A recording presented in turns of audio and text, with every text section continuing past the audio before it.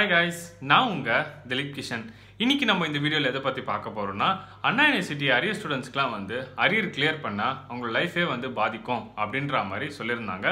So இதுக்காக வந்து நான் நிறைய கேள்விகளை இன்னைக்கு நான் உங்ககிட்ட சொல்ல போகிறேன் ஃபர்ஸ்ட் கேள்வி என்னன்னா இன்டர்னல் மார்க்ஸ் இப்போ ஒரு ஸ்டூடெண்ட்டுக்கு வந்து இன்டர்னல் மார்க்ஸ் தான் வந்து ரொம்ப ரொம்ப முக்கியம்.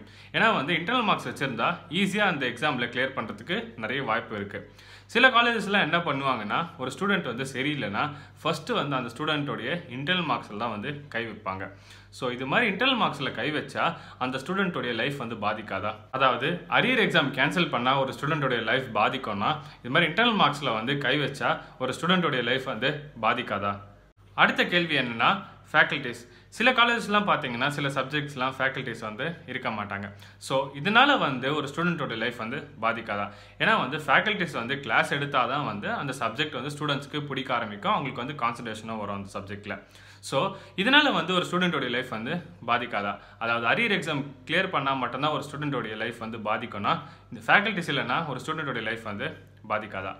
அடுத்த கேள்வி என்னென்னா லேப்ஸ் இப்போ எல்லா காலேஜஸ்லையும் பார்த்தீங்கன்னா லேப் ஃபெசிலிட்டி வந்து எல்லாருக்குமே இருக்குதுன்னு நம்ம சொல்ல முடியாது. சில காலேஜில் பார்த்தீங்கன்னா லேப் ஃபெசிலிட்டியே இருக்காது.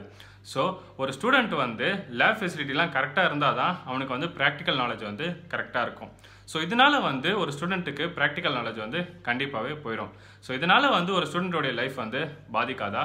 அரியர் எக்ஸாம் கிளியர் பண்ணால் மட்டும்தான் ஒரு ஸ்டூடெண்ட்டோடைய லைஃப் பாதிக்கணும்னா இதுக்கு வந்து ஒரு ஸ்டூடெண்ட்டோடைய லைஃப் வந்து பாதிக்காதா?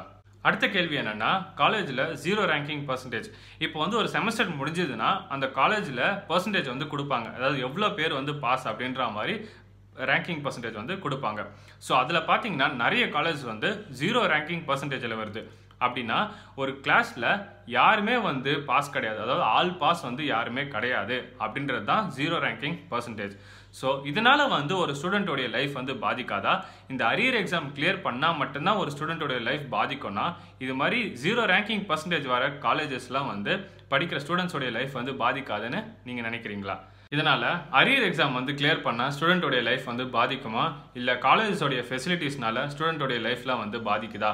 அப்படின்னு நீங்கள் நினச்சிங்கன்னா கீழே இருக்க கமெண்ட் செக்ஷனில் கமெண்ட் பண்ணுங்கள் அடுத்த கேள்வி என்னென்னா ஏஐசிடி பார்த்தீங்கன்னா அவங்களுடைய டாக்குமெண்ட்டை ஆல்ரெடி ஹைகோர்ட்டில் சப்மிட் பண்ணிட்டாங்க.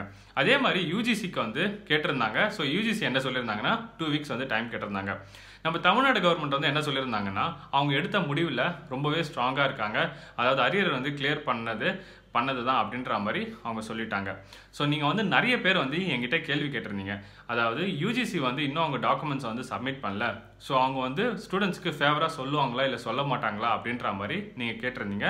அதுக்கான பதில் வந்து என்னென்னா கவர்மெண்ட் வந்து என்ன சொல்லியிருந்தாங்கன்னா நாங்கள் வந்து இந்த முடிவை யூஜிசி கைட்லைன்ஸ் படி தான் வந்து எடுத்திருக்கோம் அப்படின்ற மாதிரியே சொல்லிட்டாங்க. ஸோ இதுலேருந்தே உங்களுக்கு என்ன பதில்ன்றது உங்களுக்கு தெரிஞ்சிருக்கும். ஸோ நீங்கள் வந்து யாரும் கவலைப்படாதீங்க. ஸ்டூடெண்ட்ஸ்க்கு ரொம்ப ரொம்ப ஃபேவரான நியூஸாக தான் வரும்ன்ட்டு நம்ம எல்லோரும் எதிர்பார்க்கலாம்.